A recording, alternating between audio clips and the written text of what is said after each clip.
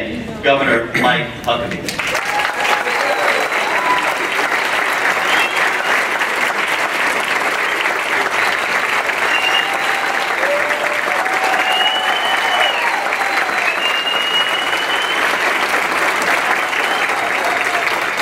Thank you. Thank you. You all stood up, I thought you were leaving. I thought that was, was going to be a very small audience I'd be speaking to. Thank you so much for staying. That's uh, quite gracious. Uh, what he was saying, I was named as one of the five best governors back when I was in office. Uh, there was one adjective that was left out. One of the five best unindicted governors. I just wanted to throw that in.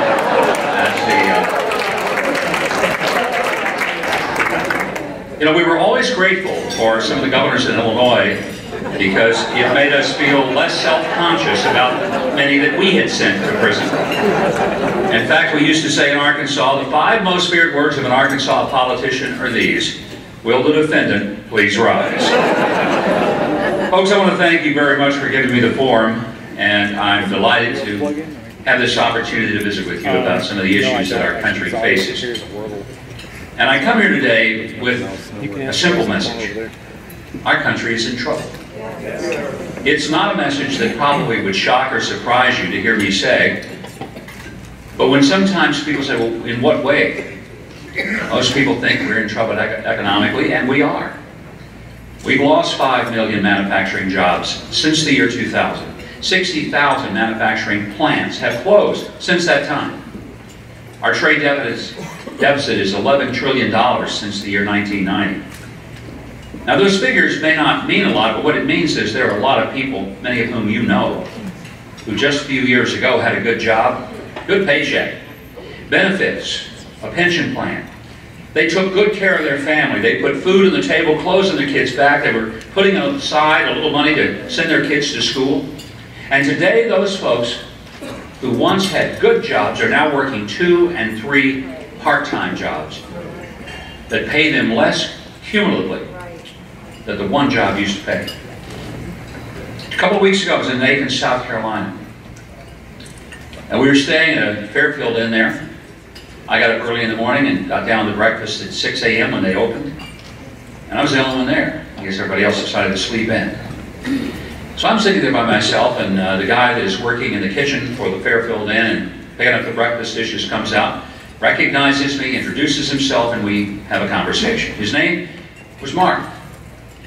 And Mark told me his story. He is a guy who is in his 50s, had been working for the same manufacturing plant for over 25 years there in Aiken, South Carolina.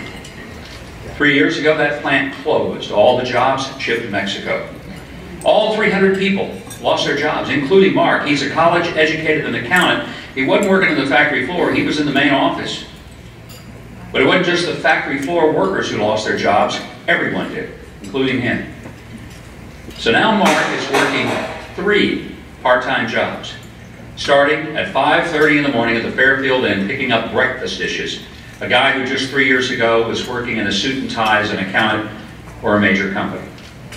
And between that job and the other two part-time jobs that he has, none of which have any benefits whatsoever, he's trying to hang on for dear life because his house is almost paid for. He can't afford to let it go and be foreclosed on, and he can't afford to move, and he can't find anything else because a guy in his 50s is just not that all, all that desirable anymore to a lot of companies. This is the tragedy that is not only true for Mark, but true for a lot of Americans all across this country.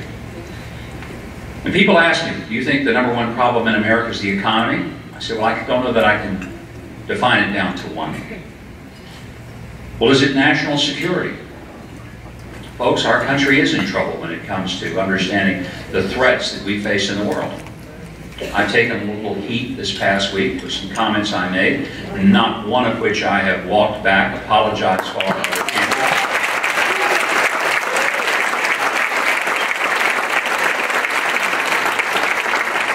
Because to me, it makes no sense whatsoever to free up $150 billion to a terrorist state who for 36 years have made very clear that their intentions are to wipe Israel off the face of the map and then come for America. And they chant death to America even as we sit at the table and supposedly negotiate with them. And while that is going on, four hostages, including an American pastor, sits in an Iranian jail, and we should have at least insisted that before we ever open up a conversation, that Pastor Abedini and those other three Americans were on the airplane back to the United States and safety.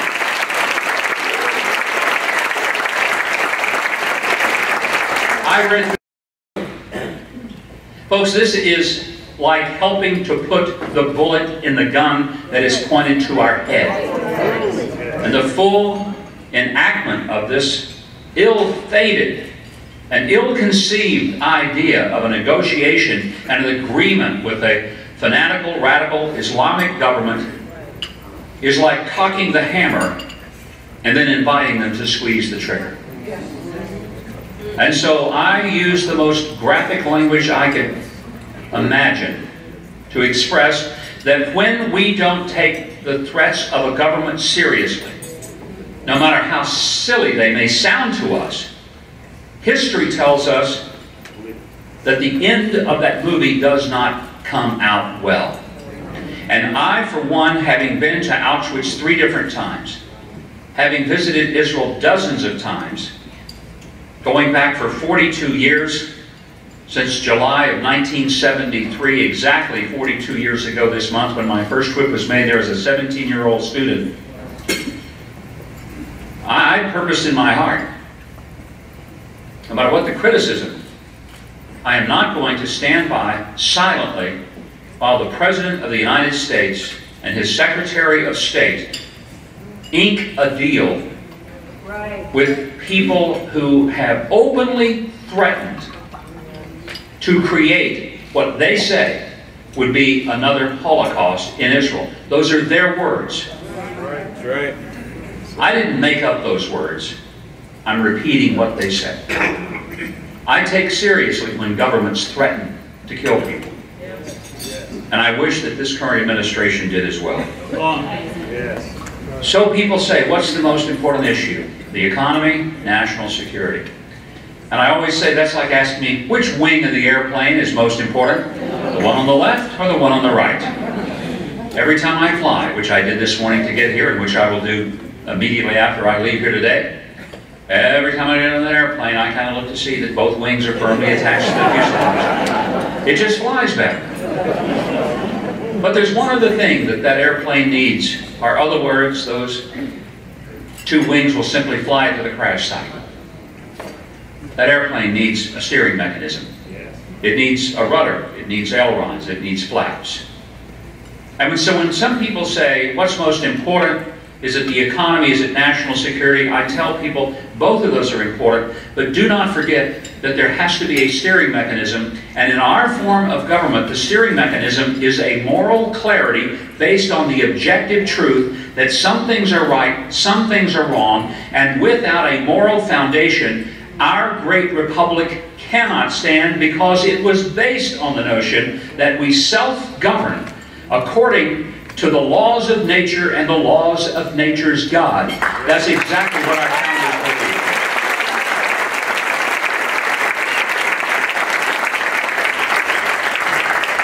Today we have those who would defy those laws and believe that laws are whatever we wish them to be based on whatever we wish they could be. A few weeks ago, when the extreme court made its irrational and illogical decision to redefine marriage.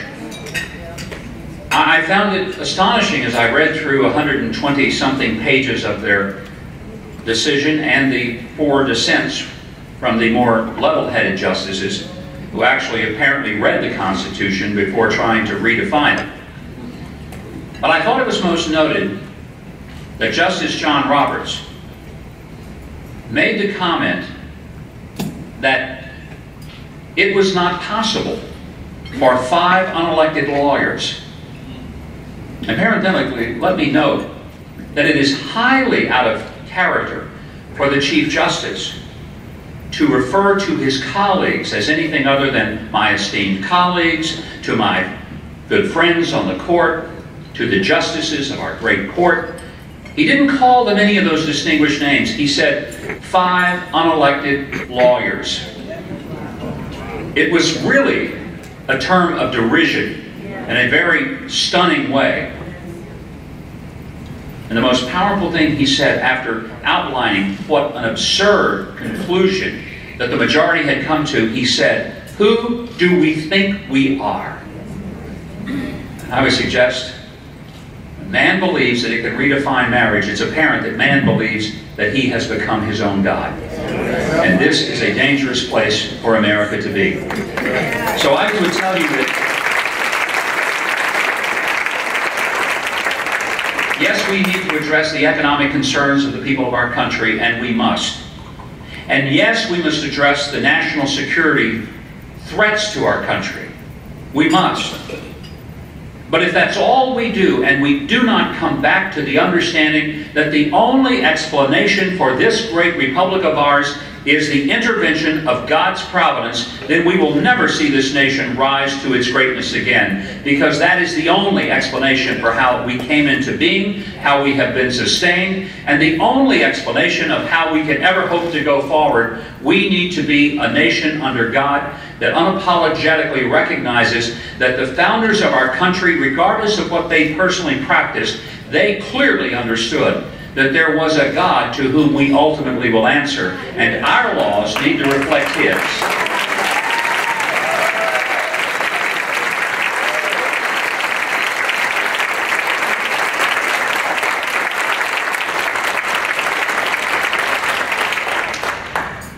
There are many people in this country who are living in dire poverty.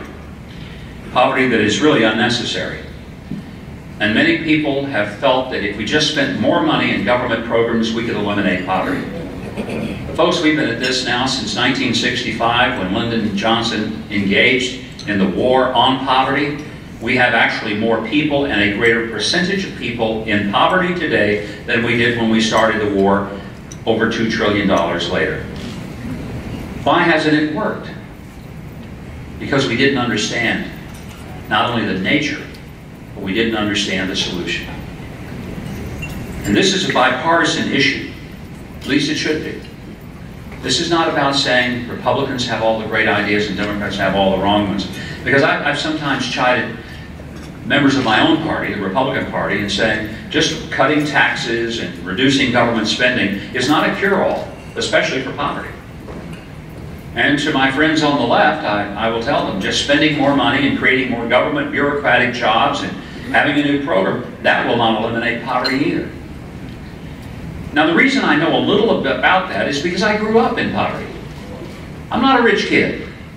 I did not grow up blue blood. I grew up blue collar. Folks, my dad was a firefighter, and on his days off he worked as a mechanic. Two jobs neither of which paid enough to pay the rent on the little orange brick rent house that I grew up in on 2nd Street in Hope, Arkansas. But between the two of them, we could at least make the rent payments, not much more. My dad never finished high school. His dad didn't either. His dad before him never finished high school. In fact, no male upstream from me had ever finished high school, ever. I'm the first, and certainly the first to go into college. I tell people I grew up in a household, like probably some of you, whose dads just did hard work, heavy lifting, and got dirty at work every day because of what he had to do. Came home having sweated through his clothes. That's just the way we, we thought work was all about. I, I put it this way. At my house growing up, the only soap we ever had in our house was lava soap. Fortunately, some of you actually know what that is. I speak to some Ivy League college campuses and the kids look at me like, lava, what is lava? And so I try to explain to them, let me put it this way. I was in college before I found out it isn't supposed to hurt when you take a shower. Some of you ladies will probably at some point this year go to a spa, spend a little money getting exfoliation pay $100 or $200 to have your skin exfoliated. A bar of lava will do the same thing. But I don't want to give any of these men ideas that they can go home and give their wives a bar of lava for Valentine's and say, here, honey, go exfoliate yourself because your skin may be coming off and lava won't even be involved. I, I simply reference that to tell you that I do not come from some place where I grew up sitting at the head table. I came up from the folks who served the food from the kitchen and waited on the tables. I was a whole lot more comfortable with the people working in the kitchen than I was the folks sitting at the head table. I had to learn how to sit at the head table and tie a tie. I knew exactly how to clean the dishes. And so poverty for me is not something that I've read about, it's something that I've understood. And one of the things that I am quick to tell people, nobody living in poverty wants to be there. There's a ridiculous notion that people who are poor really like it and want to stay poor, and they just want the government to give them more stuff. And I say, look, let me explain something to you. People who are poor would rather not be poor, but there comes a point at every time when they try to get out of the hole of poverty, and the government programs keep putting its foot on their faces and pushing them back down the ladder, there comes a point at which people do give up. And at that point, when they don't think there's any way they'll ever get out of the hole, they at least start saying, then could you make the hole a little nicer? Folks, our goal ought not to be to see if we can make the hole nicer. It ought to be, can we get people out of that hole and on their own to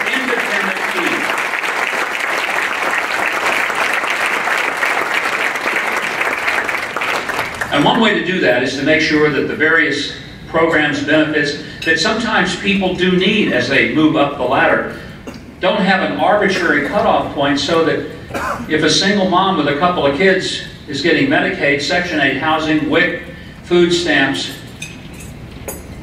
and then all of a sudden if she goes and she makes $1 over the threshold for qualification of those programs, her kids go from being at least tolerably well off to utterly impoverished without a roof over their heads, food on their table, and health care to take care of their illnesses. And at that point, I say, don't blame the single mom for taking advantage of the programs. Blame a government that punishes her for going to work rather than one that would reward her for going to work and doing better for her.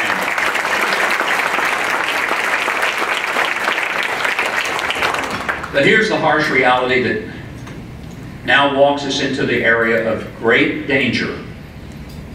I'm not for you, but for me. I'm about to step on it here, folks. Because I can say what I just said and people can say amen. Now what I'm about to say is so politically incorrect that I'll probably be reading about myself on the front pages of papers all over America tomorrow. Okay. Go for it. The single greatest contributor to poverty is the breakdown of the traditional family of one man and a husband and one wife as a mother, raising their children in a loving environment.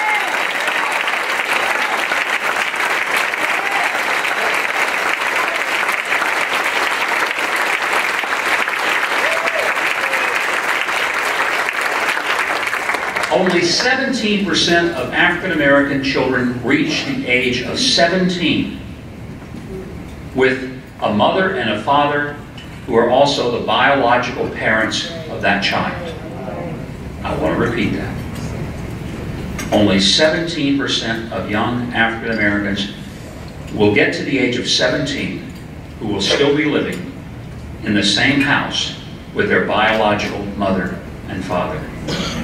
72% of the births in the African American community now are births to an unwed mother. And the fact is, if a child grows up in a home with both a mother and a father, both of whom have a minimum of a high school education and who are gainfully employed, there's a 91% chance that child will never spend one single day in poverty.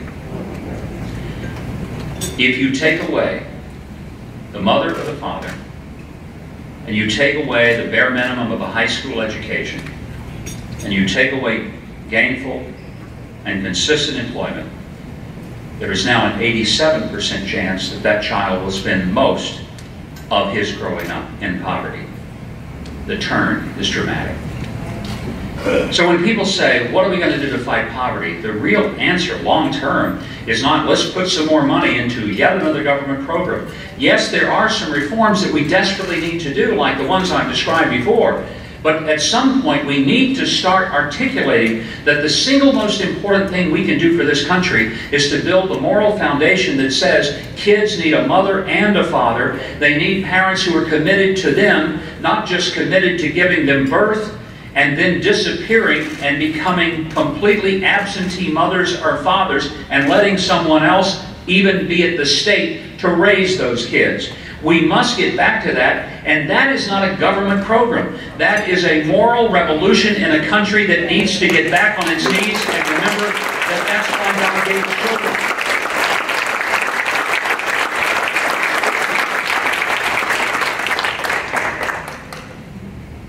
We have some serious challenges in the way that we have denigrated life itself. You see, I, I, believe that the foundation of our country can be found in that phrase in the Declaration of Independence that says, we hold these truths to be self-evident. That all men are created equal and are endowed by their Creator with certain unalienable rights, among these life, liberty, and the pursuit of happiness. Let me be quick to say that we've not really fully embraced that notion. And we must. To say that all of us are equal, it's been a doctrine, but it hasn't always been practiced. It took almost 100 years before we recognized that African Americans were every much as equal as a person who's white. And it took another 50 or 60 years before we recognized that women were equal to men. So I understand that through the course of our American history, our words didn't always match our practice, but the, but the words, the doctrine, the idea, it was at least there. And to say that all of us are created equal means something to me. And, and it means something to me as a kid who grew up as that poor kid in South Arkansas. Because my mother always reminded me that I was as good as anybody else at school. Maybe my clothes weren't as nice. Maybe my house wasn't as modern. Maybe we never had a new car. We didn't have air conditioning or carpet on the floor.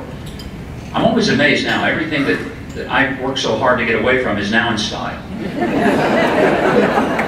now everybody's getting rid of carpet and they have hardwood floors. I grew up with hardwood floors. Now everybody wants hardwood floors. The difference is the ones I had, you would get a splinter running through the house.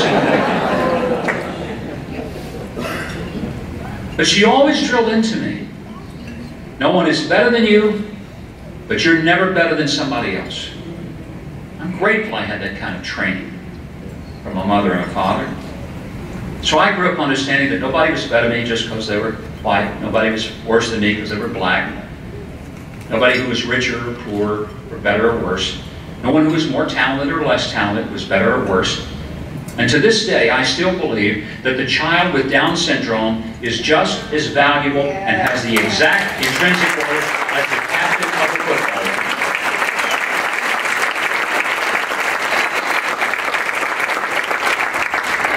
And I want you to know, I am not a pro-life person because I got into politics and thought that that would be a popular platform on which to build my, my political life.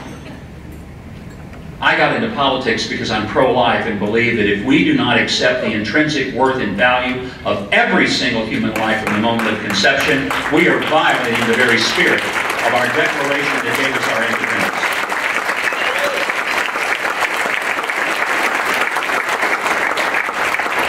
The denigration of human life in our culture has been made more remarkably and more starkly clear this week because of the revelations from the videos that were secretly taped at Planned Parenthood facilities across the country.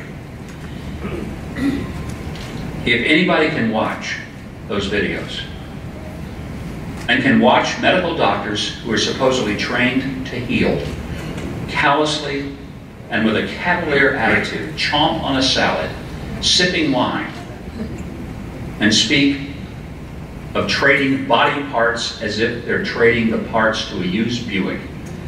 Anyone who can watch that and listen to them talk about the harvesting of human hearts and livers and kidneys and selling them and to do it while having a conversation and wishing about selling enough so they can own a Lamborghini. If anyone can see that and not be repulsed to the point of saying enough is enough, then I can only surmise that person has what the Bible calls a seared conscience, no longer able to feel the twinge of guilt we should feel. At the heart of this nation ought to be an understanding that every life has value. That there's no such thing as a life that's disposable or expendable. That there's no person that we should look at and say, how can we discard this person? How can we deem this person worthless enough to get rid of?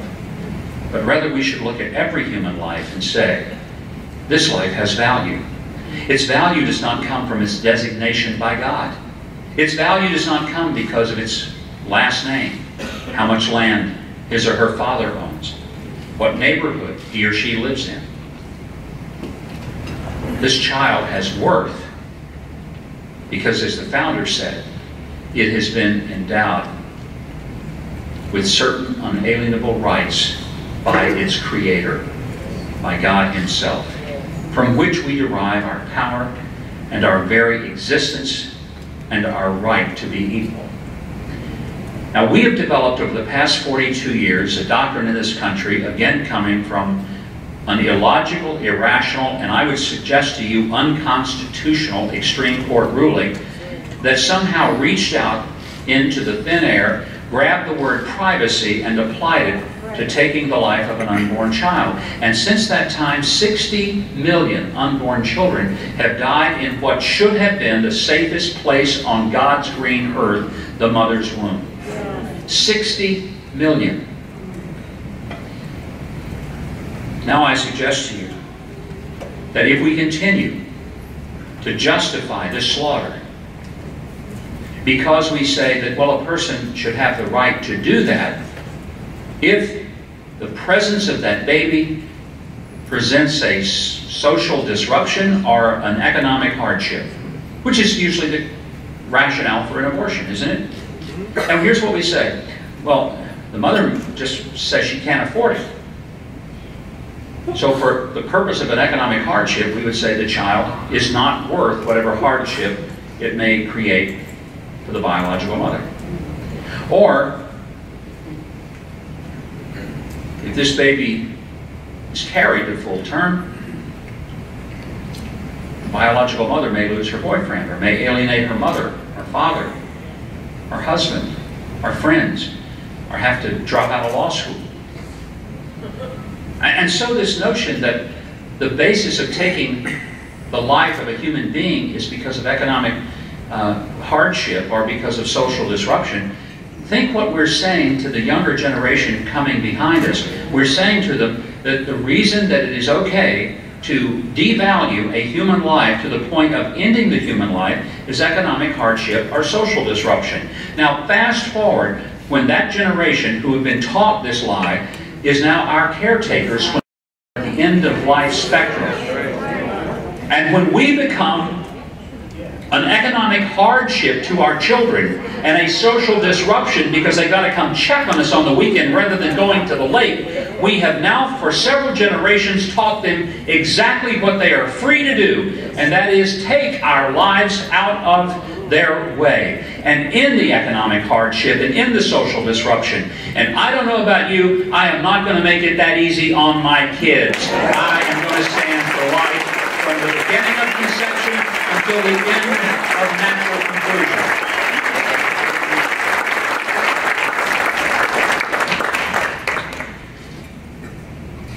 I know that this is not a political meeting per se. It's not a meeting in which you're going to endorse a candidate. That's really too bad.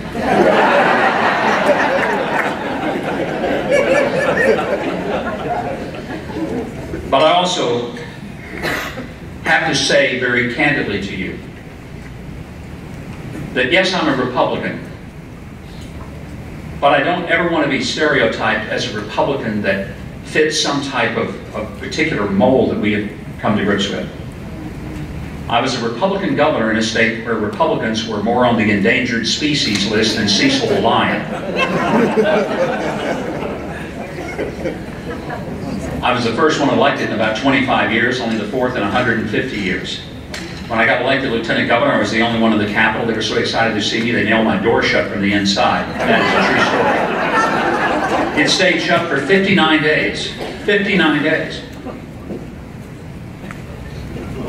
It was a rough introduction to Arkansas politics, which, by the way, most people don't know this, but Arkansas was the most hardcore partisan Democratic state in the country. It made Illinois look red.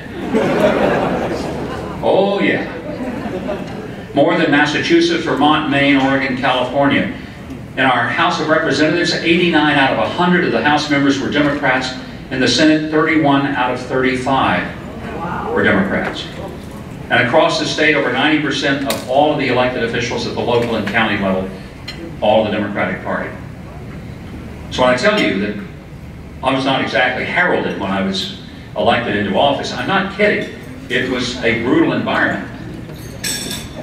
And into that environment, you wouldn't think that a guy who was a Republican in a very democratic state that had been dominated by the politics of Bill and Hillary Clinton for 20 years would possibly have a chance to get reelected. But not only did I get repeatedly reelected, with the highest number of votes ever as a Republican, but there are a couple of things that I attribute that to. One, I treated people the same regardless of their political affiliation, their race, any other criteria. That'll surprise some people on the left. The fact is, I appointed more African Americans to high level executive positions than Bill Clinton did. And there were more African Americans who had major positions in state government than it ever had. I increased the percentage of business that the state did with minority owned firms by 400% from what it had ever been before. And in having the most diverse administration in the history of the state. At the time I ran for re-election as governor, I received 49% of the African American vote in my state. Now I would challenge you to find any Republican, white or black in any state in this country who's ever received 49% of the minority vote in his or her state. I don't think you'll be able to do it. And I'm telling you that because I refuse this notion that people ultimately vote for their party. You see, I have a different view of politics, and if I hadn't had it, I'd never been elected in a state that normally never let a Republican get above 37, 38% as the ceiling of running for office. And here's the view. That for most of us who are engaged in the process of politics and who are political activists who actually go to the meetings, for most of us, we tend to see everything horizontally. We see things as left, right, liberal, conservative, Democrat, Republican, and so we look at politics through the prism of the horizontal. But for most people out there who are not engaged in the hardcore activists of politics, quite frankly, they don't look at things like we do. They don't see it on the horizontal spectrum. They look at it vertically. What they want to know is, are you going to take us up or will you take us down? Will things get better or will they get worse? And while those of us in the political realm are always arguing horizontally, the people are begging for someone to act and govern vertically and take them up, not down. And I am convinced that it doesn't matter what party we have, it matters what kind of direction we are going. And if we can say to people that we know how to build jobs, we know how to treat people fairly and evenly, we understand the nature and the soul of poverty and how to overcome it, we have a commitment to making it so that that person who lost his job will get it, that one of those 5 million people whose homes have been in foreclosure over the last eight years is not being completely forgotten. And while we're bailing out the biggest banks in the investor class and just leaving it to the good hopes and fortunes for the working class, there is an answer to make sure that we don't leave people behind. And I'm convinced that there is a great need in this country for us to address the folks who do lift the heavy things every day, who do sweat through their socks every day, who go to church each week, who do not buy in on the nonsense that we can kill 60 million more babies over the next 42 years and that God won't richly judge us for it. I'm convinced this country can get back on its feet, but it can until it first gets on its knees and repents. And when we do that, we can be a great place again.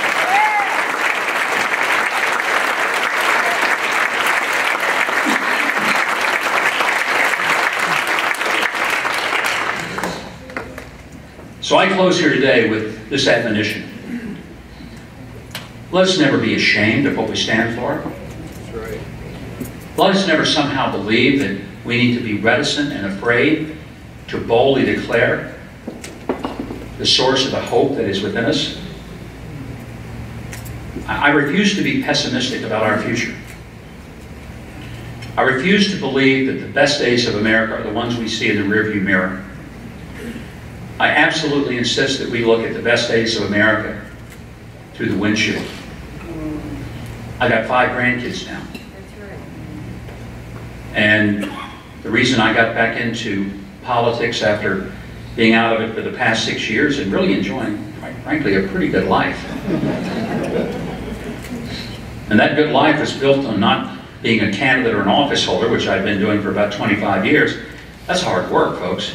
It's hard to be a candidate and run for office. It's really hard to hold office and, and try to juggle all the responsibilities. But frankly, over the last six years, I've just talked about the people who are running for office and holding office. That's the easiest job I ever had in my life. And it paid better than anything I've ever done. The only reason I've walked away from it is because I've got five grandkids.